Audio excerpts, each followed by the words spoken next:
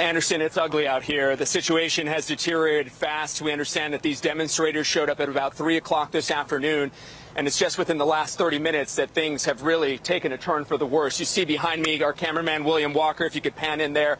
They've just set a car on fire.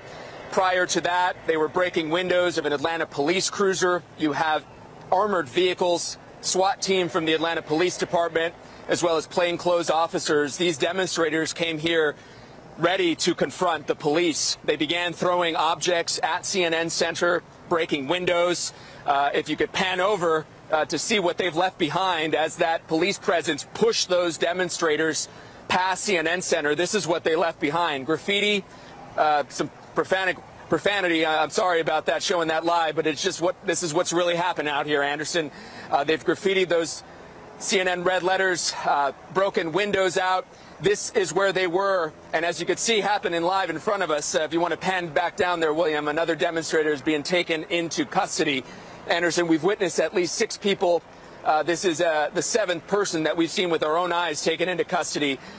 These objects were, were thrown uh, with aggression at the police. We did see at one point tear gas, what we believed was tear gas, uh, fired at the demonstrators as they've been pushed back towards the main intersection. If you're familiar with downtown Atlanta, uh, it, that is right at the main intersection of Centennial and Ted Turner.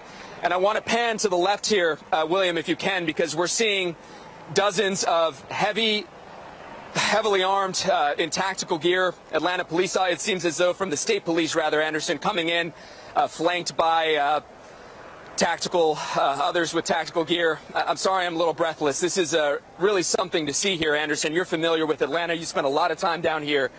Um, this is nothing that I've ever seen happen.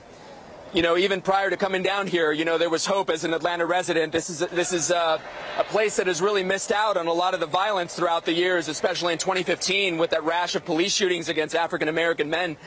There were demonstrations here, but nothing that turned violent. Certainly nothing like this.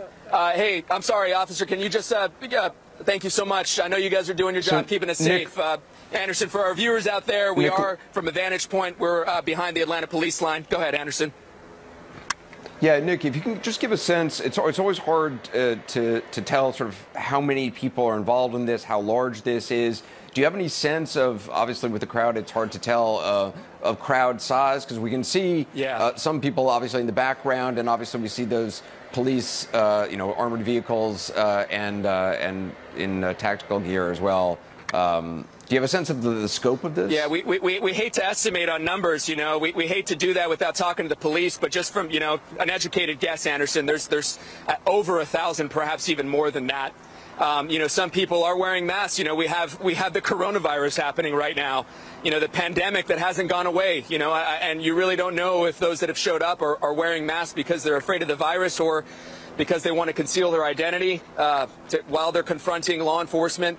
Uh, we, we have seen a lot of patience uh, on the side of law enforcement so far here in Atlanta. They were trying to reason with the demonstrators.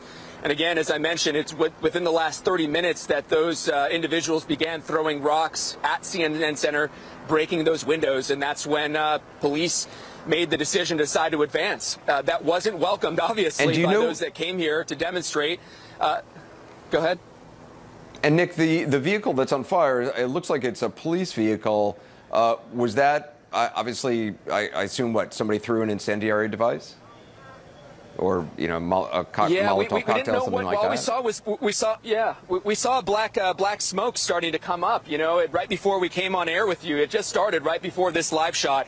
Uh, we don't know what they, what they did to set that on fire, but you know, right before that, Anderson they were breaking out the windows of a police cruiser. All those cars had been parked there as a way, I assume, to act as a barricade to, to flank the demonstrators that were outside of uh, CNN Center. Um, we don't know what caused that that that uh, police vehicle to go up in flames, but it's on fire now, and of course, I'm sure there's concerns about it exploding. We're we're we're, we're far away enough from here, uh, but it's still, uh, you know, this is this is this is terrible to witness. It's terrible to witness, Anderson. Mm. And, and, Nick, how long has this been going on for? Because I mean, I, I, saw the crowds outside the CNN Center. I think it was uh, an hour, at least an hour ago. How how long has has this been going on? They've been out here warming up for at least five hours. You know, they got out here from, from according to our national desk, at about 3 p.m. this afternoon, um, and, and, that crowd only grew in size as the evening, you know, progressed. Uh, you know, you, you, see now they're all basically in front of a corner of Centennial Olympic Park there. Uh, you know, the site of the 1996 Atlanta ceremonies. You see now, um, Anderson, uh, you know, live pictures here. We're going to come back down here as William pans down. A fire truck has shown up here to hope to extinguish those flames. Uh, you know, you see empty water bottles, uh, projectiles that have been fired littering across the streets of downtown Atlanta. Another fire truck has just shown up Nick, here. It, it, it's hard it, to looks say as this, if, but things are, have seemed to calm down a little bit. Uh, another object just got thrown, Anderson. They're still throwing objects. Yeah, that's what I was going to say. I mean, it looks as if sort of there is right now.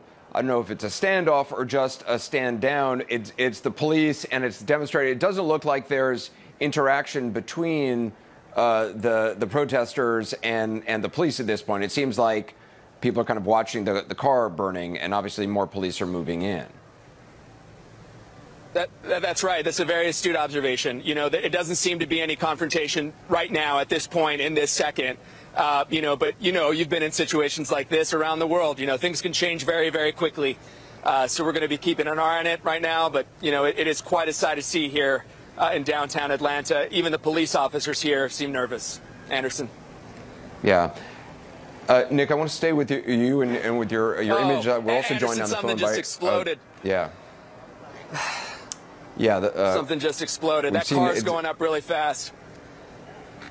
Yeah. Um, obviously, it's a, a, hazard for everybody in that area. Um, uh, hopefully, the fire truck can uh, can at least get to uh, get to it to uh, put out those flames.